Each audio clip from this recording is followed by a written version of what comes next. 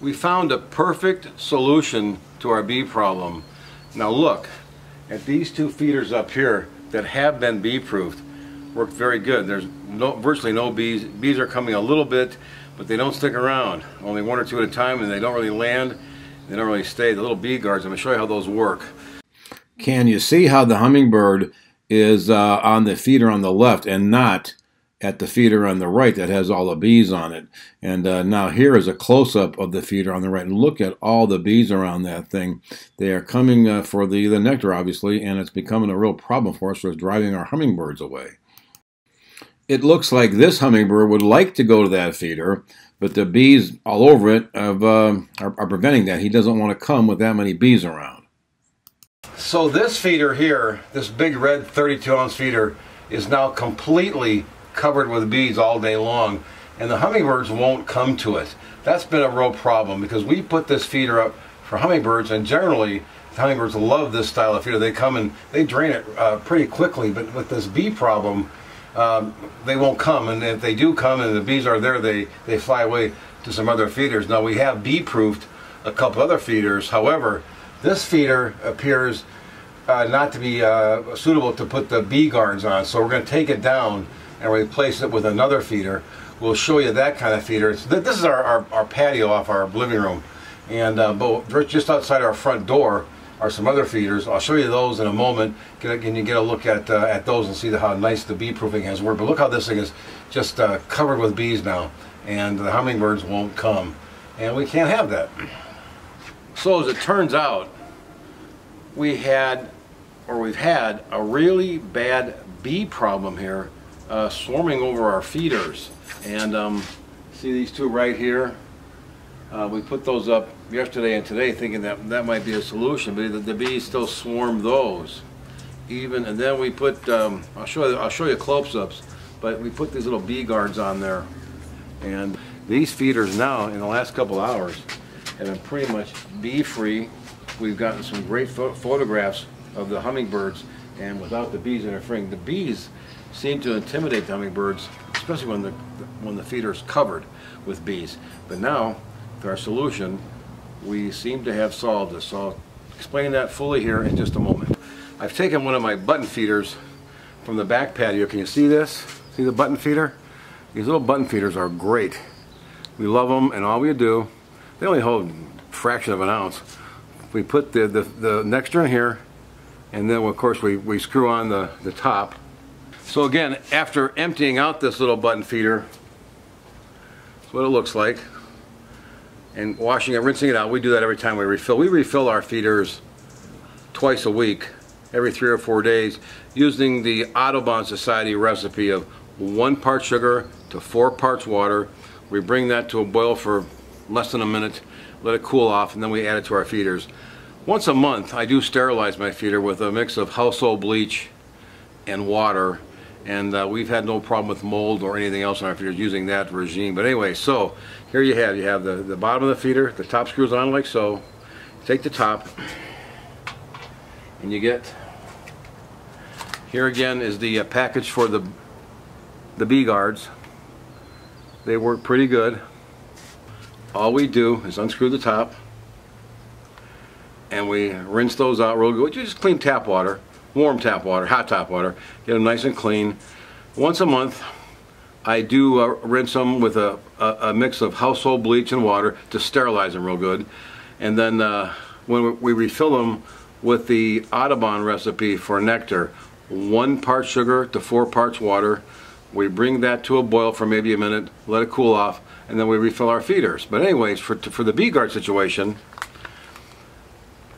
this is the package the bee guards came out of. Okay, very inexpensive to buy. You can buy them online, probably at some uh, uh, you know animal pet stores or something. We got ours online, and there is the package they come in. I think there is um, looks like there's at least uh, 12 in there. Put that down, and then um, how we attach the bee guard.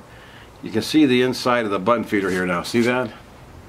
Did that show up? I hope and then we take the bee guard it's this little it's this little looks like an Elizabeth Holmes. Hang on a second.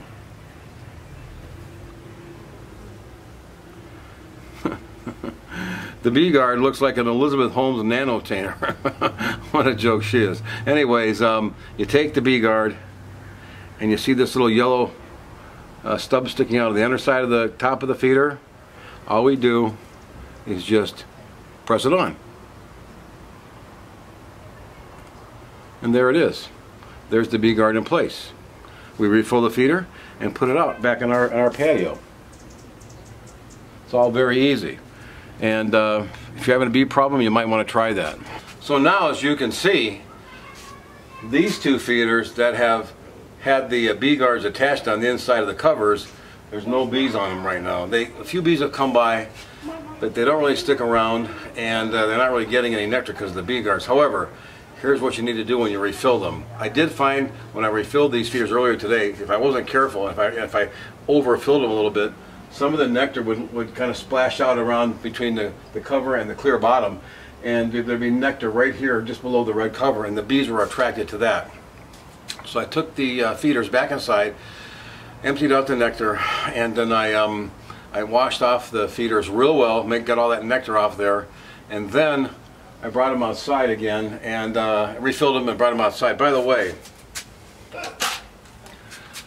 these feeders you know, as they as, as the hummers feed, the nectar level gets lower and lower, and we think they have a hard time reaching with their tongue. So we actually got these glass beads here, them at a dollar store.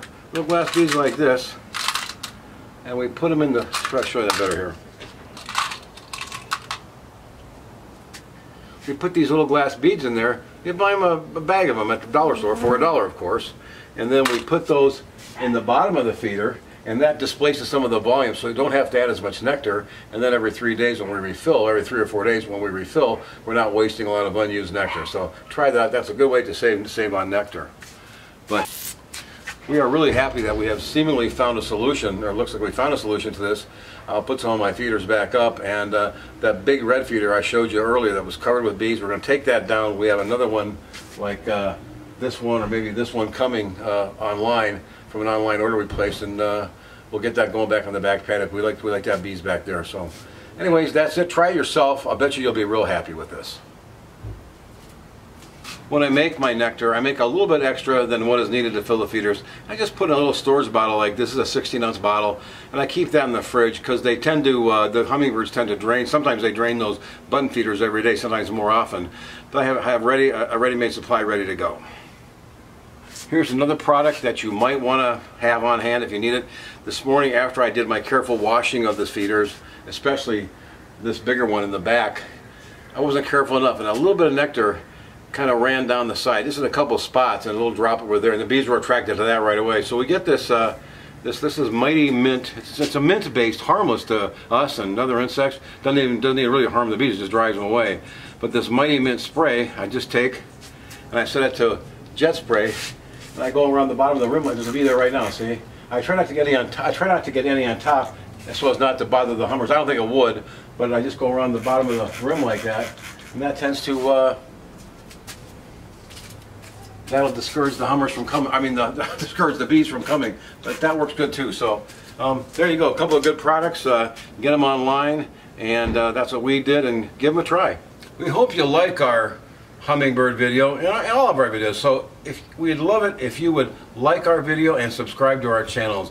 I post stuff about hummingbirds regularly, gardening regularly, and some other uh, environmental issues that you might be uh, interested in. So please like and subscribe, and uh, we hope to see you again real soon. Thank you. I'm Dave Pearling. Have a great day. So there it is. Our hummingbirds uh, come freely now. The bees are gone. They are not afraid to approach. They're not intimidated by the bees. And here in this next shot, you can see both feeders are bee free. And we have a hummingbird at the one on the left. And they're, they're coming to both feeders now. So we're very pleased with the results of our very inexpensive fix with the bee guards. So I'm struck by how much our little bee guards look like an Elizabeth Holmes nanotainer from her uh, bogus blood testing uh, company, Theranos. And uh, I don't have a black turtleneck, and I, but I do have an iPhone and a Macintosh computer, so maybe that makes me uh, more of a next Steve Jobs than she is, but did you ever see her pose? Or she's looking at her nanotainer like that? Here she is. I have rechristened her Lizard Breath. Anyways, we hope you enjoyed this video, and we hope that you can find a way to, like we did, to bee-proof your feeders too. And these little guys really do the trick.